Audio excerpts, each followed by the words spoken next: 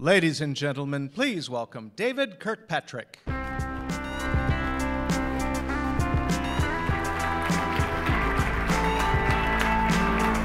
Well, welcome to our third annual Techonomy Conference.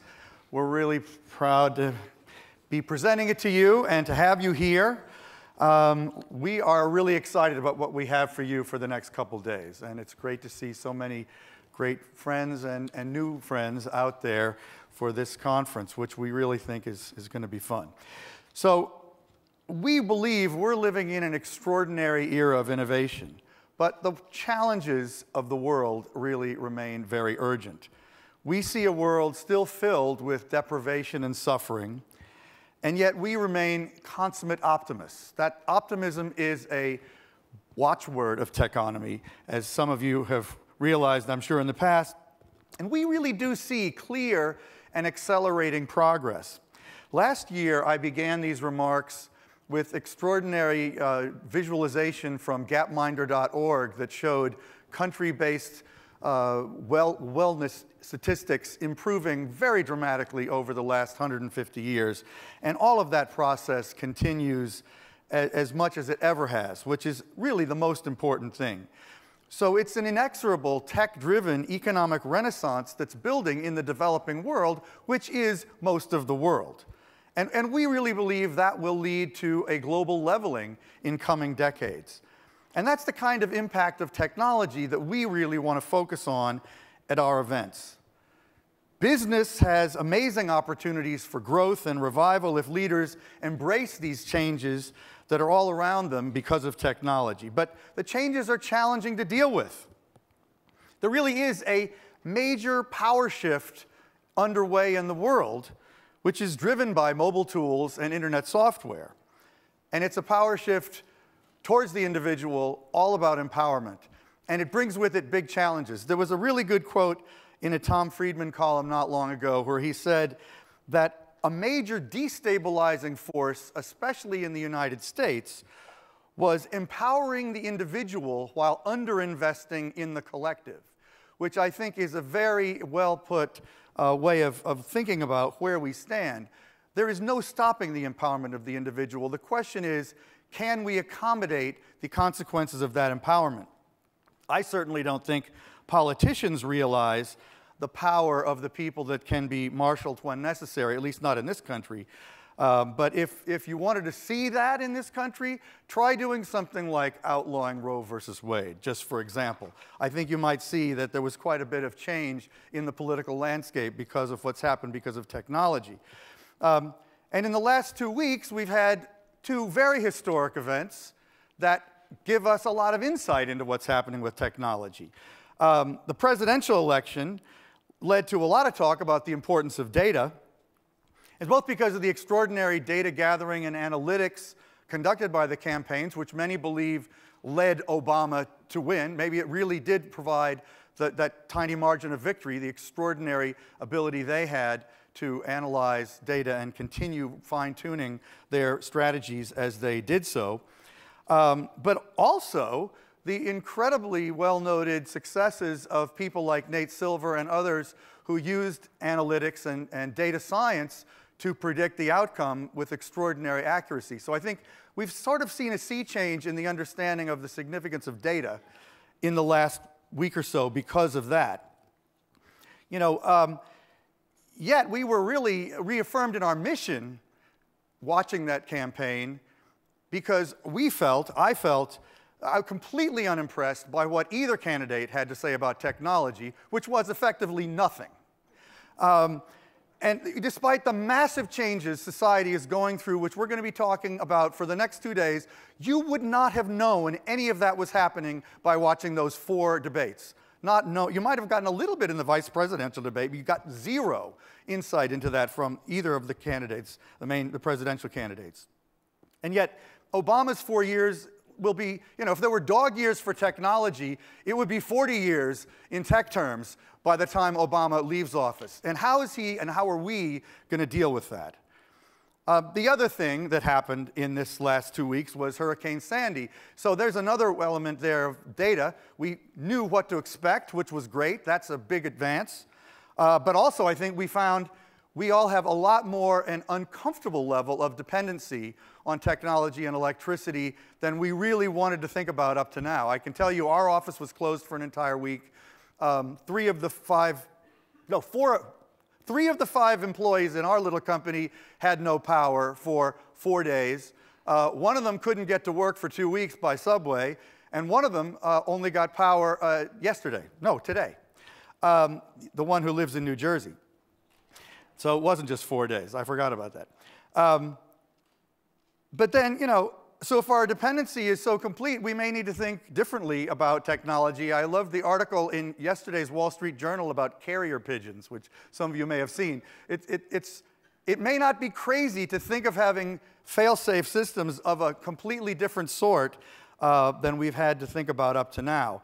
And then, of course, if billion-dollar storms, multi-billion dollar damages are going to be the new normal, what do we do about that? And I'm very pleased we have a session tomorrow morning about geoengineering, so we're not shirking our, our responsibility to keep the technology angle going on, on what to do about climate. And uh, there's a lot more to talk about there than we will have time to do, but we will be talking about that.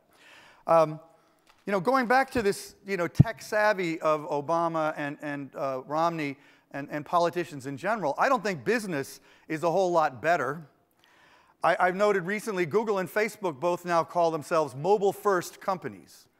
But how many other companies think of themselves as mobile first companies, even though they are, whether they realize it or not? Really, any company that deals with consumers ought to be thinking that way. They don't even think they need to be software oriented, many of these companies. Well, anyway, um, Techonomy, our company, we're doing this conference. We recently had a one day conference in Detroit called Techonomy Detroit which was focused more very narrowly on US competitiveness, economic growth, jobs, and urban revival. US economic issues. We're going to do another conference in Detroit next September as well. Since last year's Techonomy, we've begun publishing at techonomy.com. Some of you have written for our site. We're really getting more and more excited about what we can do as a media company conveying these ideas about technology centrality. Uh, we're going to be doing a super session at CES uh, which we're organizing. So we're really doing a lot of new things. And, and all we're really trying to do is understand what's going on. We don't know. We don't claim to know. We just have a few bare bones convictions about what matters, about the central role of tech in change that we think is inarguable, even though a lot of people don't realize it, about the critical role of entrepreneurship in all sorts of economic growth around the world, and the need to re-emphasize that in every possible way. And I think fundamentally a belief that business is going to be the best tool, the most effective tool for driving the change that the world needs. And we do believe that countries, companies, and communities and individuals have no choice but to embrace technology, even though we have no clue where it will lead. So these two days are an effort to try to get a clue, I suppose. And we see organizing a conference like this as something like organizing a, you know, editing a magazine, which, you know, I came out of a magazine background for 25 years, and we hope each panel, which is equivalent to a story, yields a little bit of insight and that we've got the right sources, which are the panelists, and we hope we're asking the right questions. And luckily, we'll be asking you to ask questions too. So if we don't get it, we will get your help on that. Um, but we really love you know, the way this group has, has con convened. We have participants from 16 countries. We have 25% women, which is up from 20% last year, which is not enough.